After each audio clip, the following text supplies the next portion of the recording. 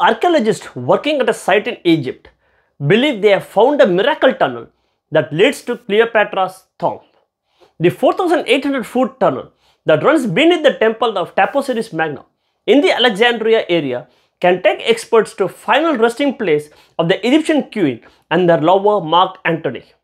Kathleen Martinez, an archaeologist at the University of San Domingo, believes the two are buried in the temple and this could be the key to finding them.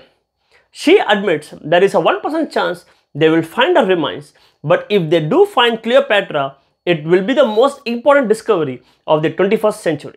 Cleopatra and Mark Antony died after losing the Battle of Actium in Greece to Octavian, Caesar's successor who was fighting for control of the Roman Empire. They are believed to have committed suicide.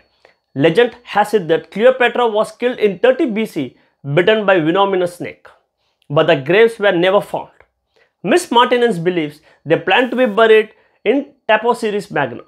Cleopatra negotiated with Octavian that she could bury Mark Antony in Egypt. She wanted to be buried with her because she wanted to reproduce the legend of Isis and Osiris. After her death, the gods will allow Cleopatra to live with Antony in an alternate form of existence so that they can have external life together. The tunnel has been described as a geometric wonder. It is about 1.8 meters high and resembles another piece of ancient engineering, the Eupalinos tunnel on the Greek island of Samos. Archaeologists have found it about 43 feet below the temple. The pottery was found under silt in the submerged section. Coins of Cleopatra, the much earlier Alexander the Great, statues of Isis, the Egyptian goddess and the headless statues have also been found.